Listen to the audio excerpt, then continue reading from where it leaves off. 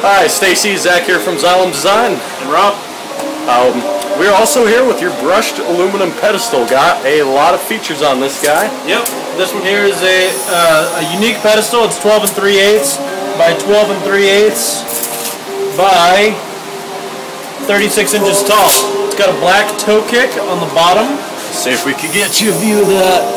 There it is right there. And also uh, there's a spotlight on the top with, and it has a flip switch. I can show you right there.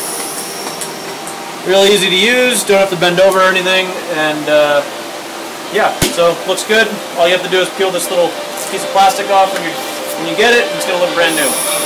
Uh, it's gonna be shipped to you, Upper Saddle River Road in Montvale, New Jersey. So be on the lookout for that. Awesome, Stacy. Well, we are very curious um, what's going on, on top of this guy. So, if you would take the time, send us a uh, picture of what you're putting on top of it. Even better, send us a video back. You know, video for video, that whole nine yards deal. Um, other than that, have a good one for the folks here at Xylem. Thank you.